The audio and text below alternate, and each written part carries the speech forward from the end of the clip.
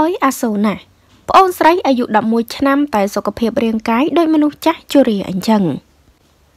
យោងតាមរយៈកម្មវិធីផ្ដល់បទសម្ភាសន៍មួយបានធ្វើឲ្យមហាជនមានការអាណិតអាសូរជាខ្លាំងប្អូនស្រីជេនីឬមានឈ្មោះថា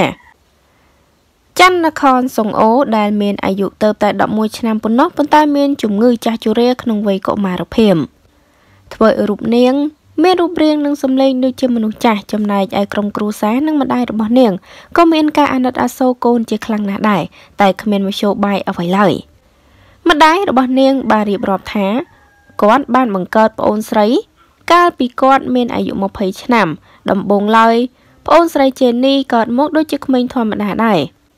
ប៉ុន្តែ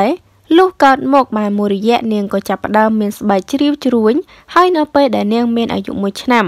រោគសញ្ញារបស់នាងចាប់ផ្ដើមបង្ហាញច្រើនច្រើននាងចាប់ផ្ដើមមានជំងឺហឺតដូចជាមនុស្សចាស់រហូត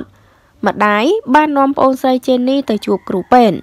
ហើយក្រុមគ្រូពេទ្យបានសន្និដ្ឋានថាប្អូនស្រីជេនីមានជំងឺចាស់ជរាក្នុងវ័យកុមារអាចនិយាយបានថាជំងឺចម្លែកនេះ គឺកើតឡើងតិចតួចណាស់ជំងឺនេះគឺបណ្ដាលឲ្យអ្នកជំងឺមានអាយុ1ឆ្នាំមានអាការៈស្មើនឹងអាយុ10ឆ្នាំដូច្នេះពេលនេះជេនីមានអាយុ11ឆ្នាំ គឺស្មើនឹងមនុស្សអាយុ110ឆ្នាំអញ្ចឹង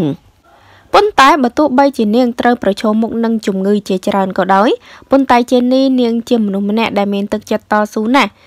មានពេលខ្លះនាងក៏មានអារម្មណ៍តូចចិត្តនឹងវាសនាខ្លួនឯងប៉ុន្តែប្អូនស្រីនៅតែតស៊ូនិងយកឈ្នះអារម្មណ៍តូចចិត្តតូចថ្លើមនេះដែរជំងឺរបស់ជេនីធ្វើឲ្យនាងមានអាយុខ្លីជាងមនុស្សទូទៅ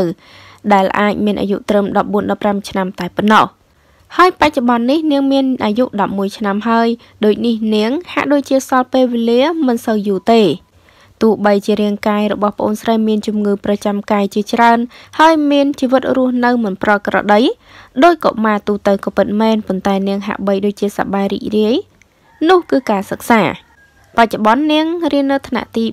4នៅបឋមសិក្សា ហើយនាងជាសិស្សពូកែម្នាក់ផ្នែកភាសានិងសិល្បៈព្រោះវាជាមុខវិជ្ជាដែលនាងបានរៀនហើយសប្បាយចិត្ត ទោះយ៉ាងណាបងស្រីជេនីនិងអ្នកម្ដាយក្នុងការប្រយុទ្ធប្រឆាំងនឹងជំងឺដ៏កាយសាហាវនេះដើម្បីឆ្ពោះទៅរកជីវិតដែលប្រសើរជាងមុន។